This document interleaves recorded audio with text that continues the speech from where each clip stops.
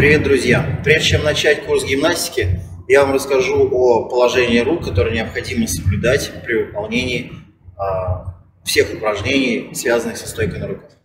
Давайте рассмотрим это поподробнее. Отметим наши точки крестиком и перенесем их на нашу доску. Для того, чтобы было понятно, о чем мы говорим. Положение рук. Теперь здесь. Какое должно быть расстояние между этими точками, между руками? Расстояние ровно локоть. То есть от этой точки до этой точки расстояние локоть. Вот. Не шире, не уже. Это оптимальное расстояние для выполнения упражнения.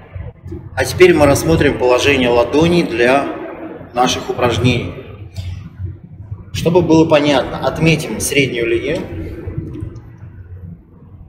и большой, и большой палец. Соединим их в точке. Это будут наши ориентиры. Здесь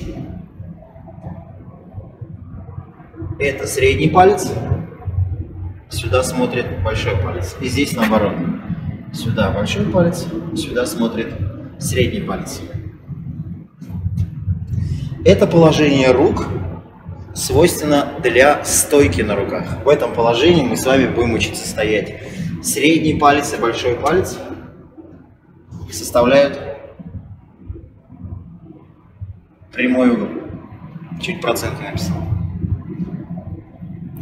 Следующее положение – это положение отжимания на руках. Сотру. Большой палец, то есть мы разворачиваем. Здесь увеличивается угол. Это положение для отжиманий.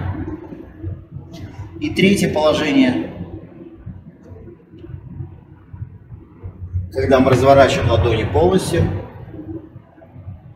это положение для ходьбы. То есть можно отметить для того, чтобы не забыли это движение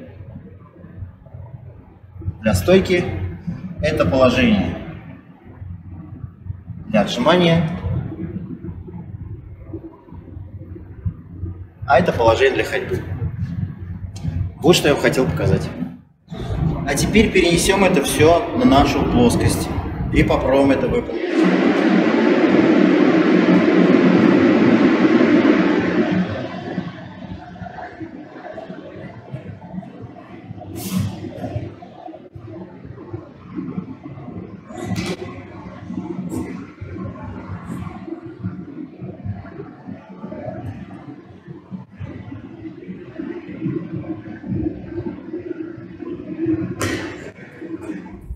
Воскресенье в 7 часов выйдет первый курс, и мне хотелось, чтобы вы это уже знали. Увидимся с вами в понедельник на нашей первой тренировке. Всем пока!